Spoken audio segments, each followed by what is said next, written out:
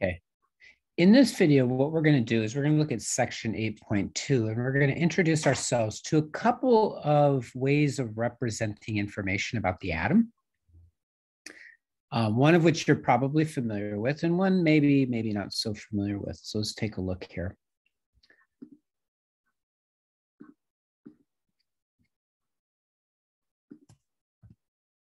Okay, so this is section 8.2. It's called nuclear structure. If you recall, in the previous section, we talked about the nucleus, right? The nuclear model of the atom, the idea that all the positive charge in an atom is concentrated in a very small region of space called the nucleus. And that outside of that nucleus is a large region of space, which is mostly empty, nothing in it except for these electrons, which are negatively charged. Okay, so we call that the nuclear model. So now we're going to look at a little bit about the nuclear structure of the atom. So I'm going to introduce the periodic table of elements, and then the atomic number, the mass number, isotopes, nucleons, and isotopic notation. So let's begin with the periodic table. Okay. I'm going to bring this up so you can see it. You really can't talk too much about this topic without looking at the periodic table. Okay. So here's the periodic table of the elements. There are different ways of representing this, but what we find is that in nature, there are roughly around 90 different types of atoms, each with their own distinct properties. Some of them are gases, some of them are solids, some of them are liquids, some are poisonous, some are not poisonous. We're all familiar with some of them, right? Hydrogen, for example. We're all familiar with hydrogen. We've probably all heard of lithium, lithium batteries. Sodium, of course, is an essential nutrient. Potassium is as well, and calcium. And then, you know, over here we have the nonmetals. So we'll get into all that stuff when we start talking about the chemistry as aspect of the course. But for right now, what I want to do is I want to point out that these are distinct types of materials. So a boron is inherently different than a carbon atom. So if I have one boron atom and one carbon, they behave very differently. So we call them elements. They all have their own individual personalities. In this particular representation of the periodic table, there's a number written above the symbol of the element. So H is the symbol for hydrogen, and that number is called the atomic number. The atomic number is the number of protons in one atom of that element. And that element will always have the same number of protons. So we cannot have a hydrogen atom with anything other than one proton. If it had, for example, two protons, it wouldn't be a hydrogen atom anymore. It would be a helium atom, number two here. So see the atomic number is above the symbol of the element generally. We're going to look at a notation that's a little bit different. But on the periodic table, they put the atomic number above the symbol. Okay. So boron, for example, has five protons in one atom. Germanium, which is important in semiconductors, has 32 protons in one atom. Okay. A silver atom has 47 protons. A um, potassium atom has 19 protons. That's called the atomic number. Now, we're going to look at some other um, terms here. Let me bring back the um, outline for today.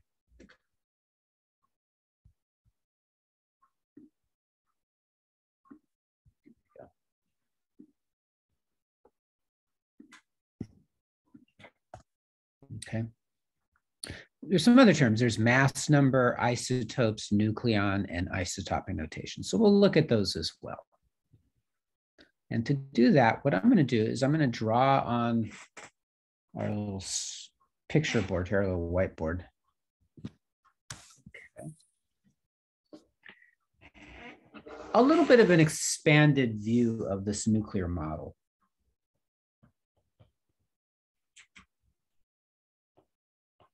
Okay, a model is like a theory, so we could call it the nuclear theory. So remember, you have the nucleus, and that's at the center. So it's got all these positive charges in it. And each of those positive charges is called a proton.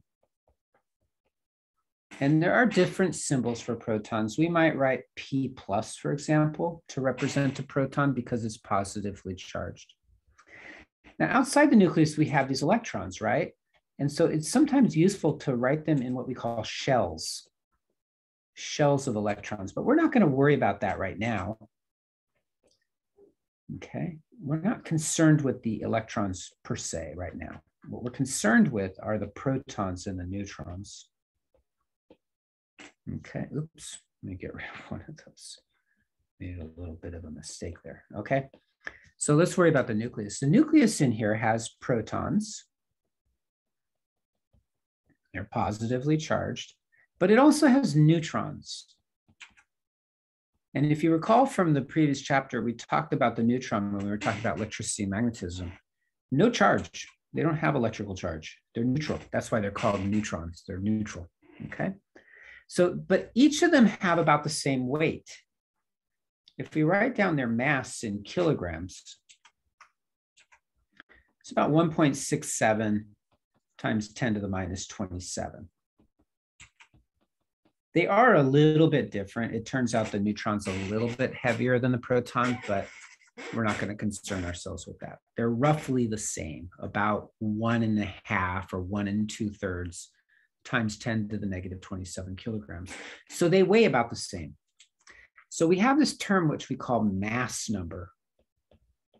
And the mass number is the number of nucleons in one atom. Okay, the mass number is the number of nucleons in an atom. But what's a nucleon? A nucleon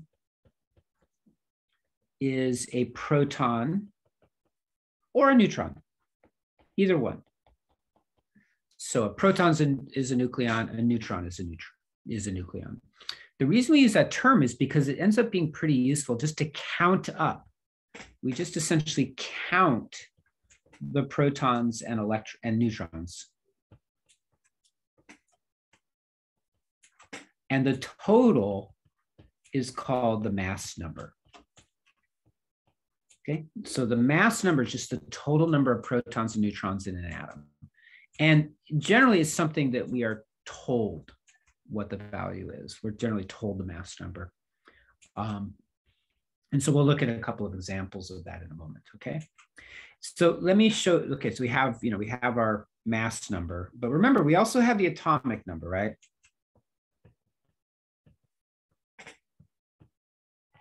And the atomic number is the number of protons in the atom, one atom, okay?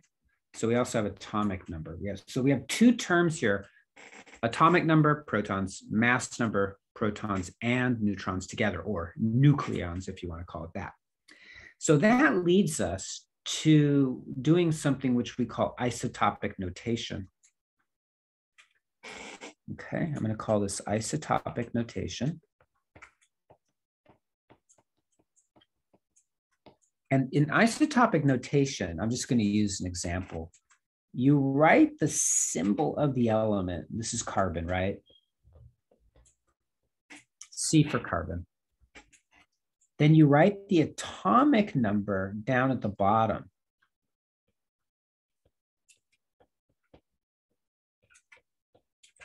It's on the left side and a subscript, so a little bit under the symbol. And then up at the top above the atomic number, you write the mass number. Okay, and that's called isotopic notation. I'll, I'll, I'll, I'll let you know why it's called that in a moment.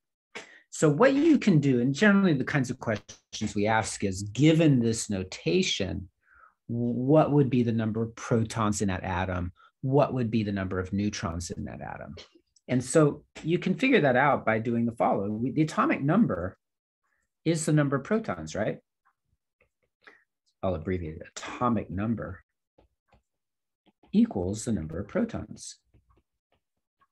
So we have that in the notation, six, right? So there's six positively charged protons in the nucleus of a carbon atom. Now remember what we said about that. The atomic number is specific, meaning it works for individual elements. So if it didn't have six, it wouldn't be carbon. So you're never going to see like a nitrogen symbol N with a six at the bottom. Because if it was nitrogen, that, that would have seven.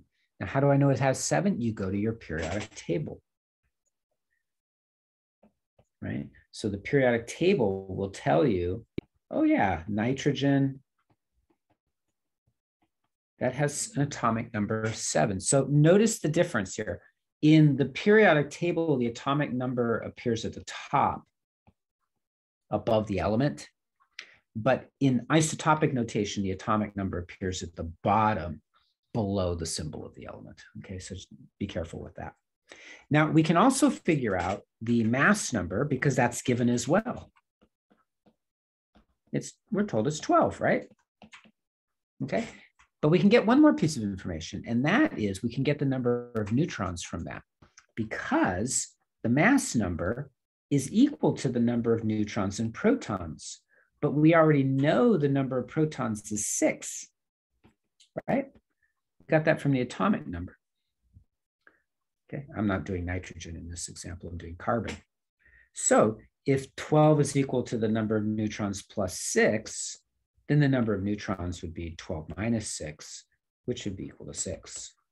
So in this particular notation, we know we have six protons and six neutrons. Okay, remember, each of those is called a nucleon. So we would claim that we have 12 nucleons. Okay, but six of them are protons and six of them are neutrons. Now it turns out, the reason we call this isotopic notation so it turns out in nature, there can be different types of atoms of the same element. So nitrogen, for example, has two naturally occurring isotopes, we call them, different forms. And the way they differ is by their mass number, but not by the number of protons, because the number of protons for carbon has to be six. The atomic number can't be changed for a specific element.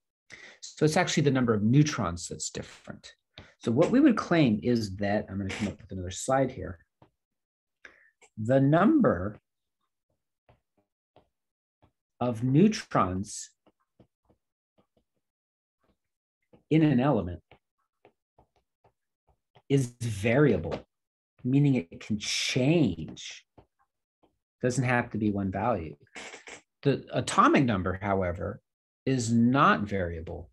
If it's a different number, atomic number, it's a different element. So what you can find is that, I'm going to show this to you here. This is the most common form of carbon in nature. It's right 99.9% of all the carbon in, on the earth and in us is carbon 12. We call this carbon 12.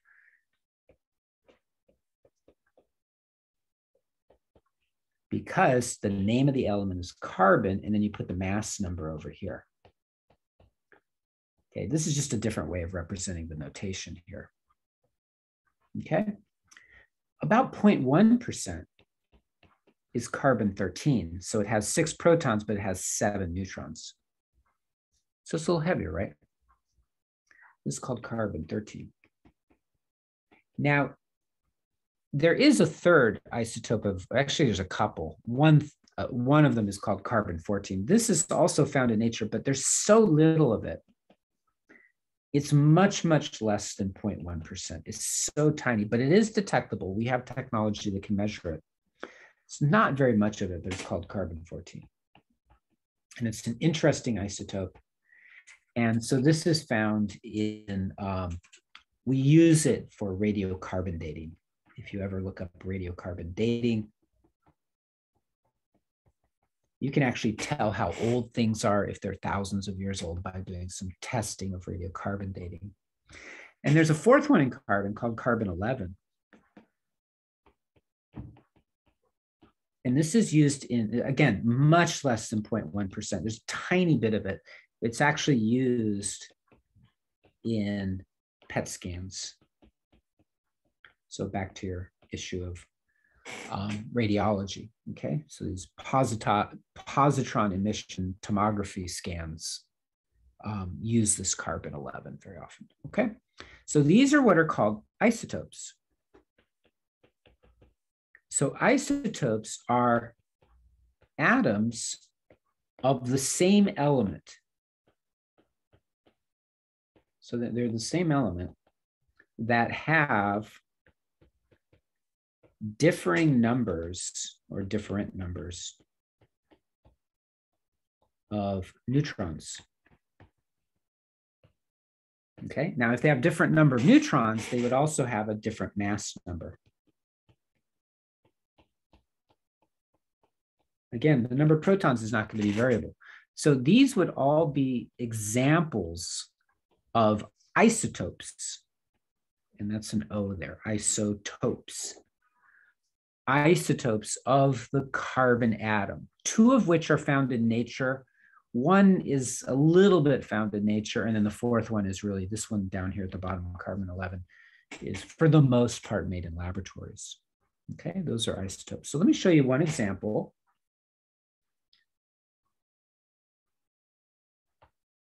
So let's write out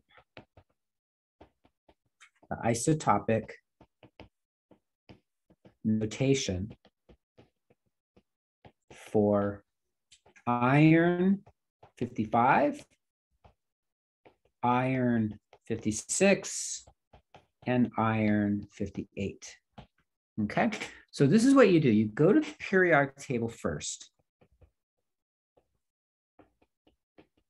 And you look up the symbol, you look up iron, Iron, strangely enough, has is the symbol Fe. It's really ferrum.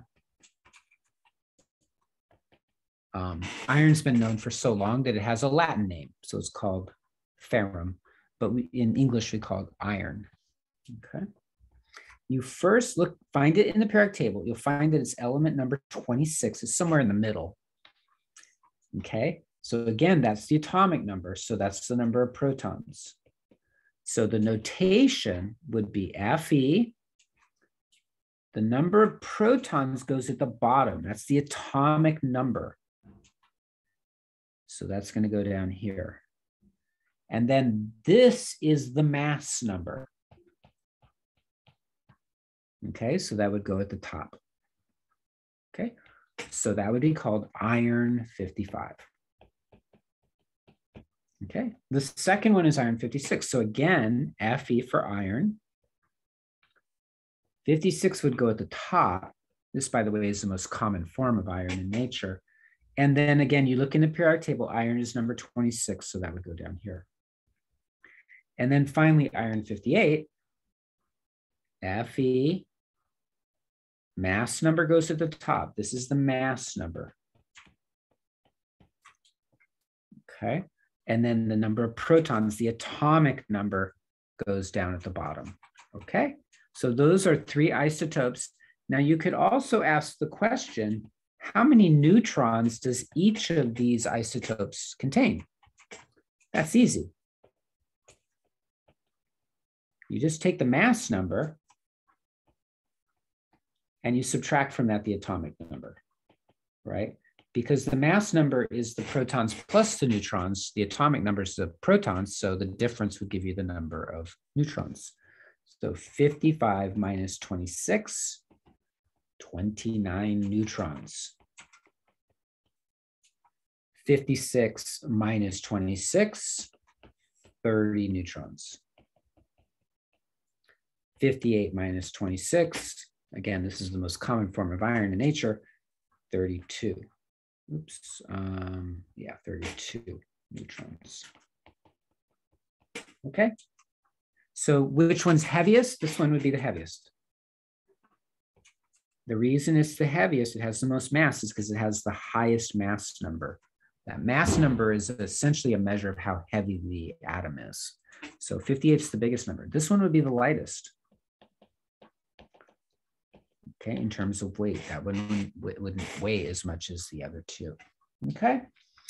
Um, so there's our is isotopic notation. We talked about what isotopes are. Pretty much every element in nature has isotopes. Um, your textbook shows you a little bit about hydrogen's isotopes. Um, so you can read up on that one, deuterium and tritium, this little side box.